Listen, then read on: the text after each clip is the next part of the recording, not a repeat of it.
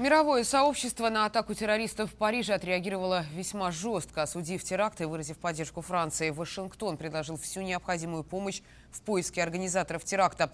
О реакции США и мировой реакции в целом на теракты в Париже в материале Евгения Маслова. У диппредставительств Франции в США сегодня дежурят полицейские патрули.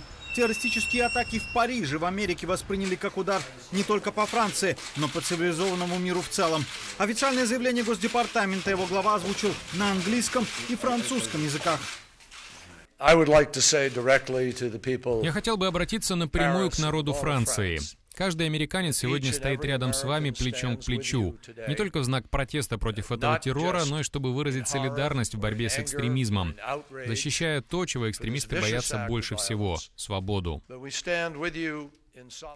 По поводу теракта в Париже сегодня высказывались и в Белом доме, и на Капитолийском холме. Американский президент, выразив соболезнования семьям погибших, пообещал Франции всяческую поддержку в поиске организаторов терактов. Я уверен, что власти Франции сделают все возможное, чтобы осуществить правосудие над преступниками. Эта трагедия призвана разобщать людей, но мы не должны попасться в эту ловушку. Генеральный секретарь ООН Пан Ги Мун сегодня от лица Организации Объединенных Наций осудил действия террористов. Москва выразила Франции свою поддержку. Одними из первых о солидарности с Парижем заявили в Берлине и в Лондоне. Также выразив соболезнования родственникам погибших, Ангела Меркель и Дэвид Кэмерон сделали совместное заявление в британской столице. То, что произошло сегодня в Париже, это варварская атака на наш стиль жизни и на все те ценности, которые мы в Европе разделяем и которых придерживаемся. Мы и впредь будем оставаться верны принципам свободы и демократии.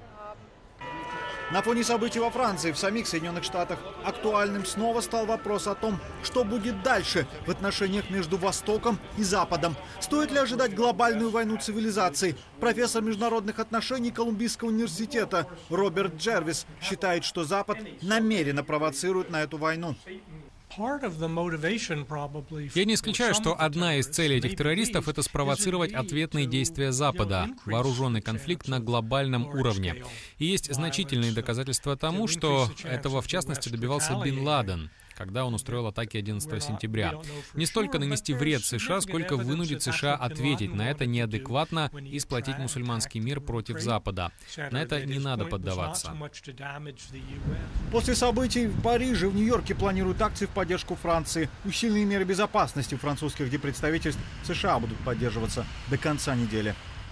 Осуждая теракты в Париже, в Америке особый акцент делают на то, что это неслыханная атака на свободу слова и прессу в новейшей истории.